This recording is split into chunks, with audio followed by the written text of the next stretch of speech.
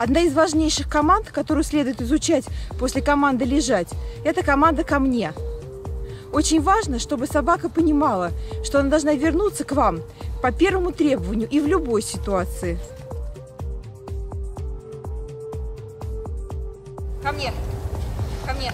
Обойди. Сидеть. Норд, ко мне. Хорошо. Сидеть. Отлично. Да. Начать обучение этой команды нужно с длинного поводка, чтобы собака знала, что мы будем контролировать ее в любой ситуации.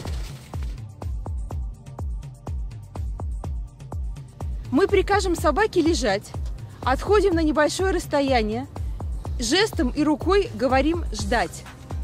Останавливаемся, хлопаем себя по бедру и даем команду «ко мне». Подтягиваем к себе собаку и хвалим.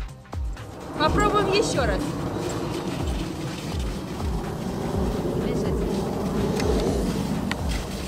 Отходим на небольшое расстояние.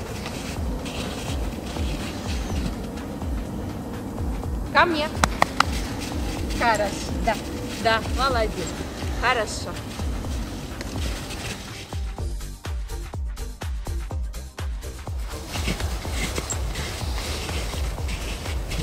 Надь, лежать. Норд, ко мне. Хорошо. Да, молодец. Хорошо, хорошо. Не зовите собаку, пока вы находитесь к ней спиной. Это нечестно по отношению к собаке. И не забывайте, когда она придет, обязательно похвалить ее и дать ей лакомство.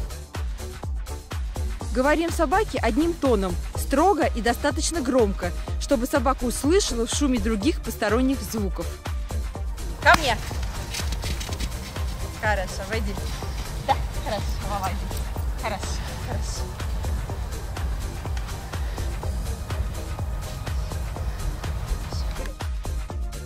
После двух-трех подходов с подтягиванием поводком собака поймет, что от нее требуется, и тянуть поводок будет не нужно. Тогда бросьте поводок на землю и подзовите собаку, чтобы она получила возможность сама выполнить команду.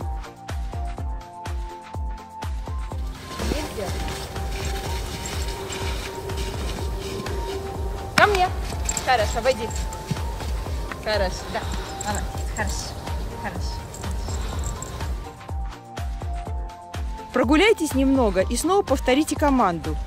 Если собака не подчинилась, подберите поводок и подтяните собаку сильными рывками, чтобы он понял, что вы недовольны. Ко мне. Команду надо работать ежедневно, и уже через неделю вы получите ее правильное выполнение, даже при наличии отвлекающих факторов. Как только собака будет подбегать к вам быстро и с любого расстояния на поводке, отстегните поводок и тренируйте команду без него в разных местах.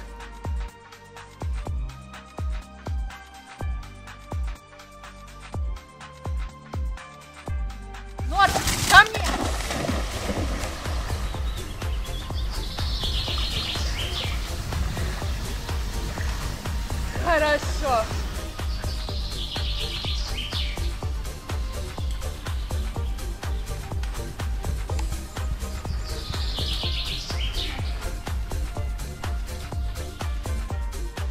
И в один прекрасный день вы увидите, что собака выполняет команду именно так, как нужно вам.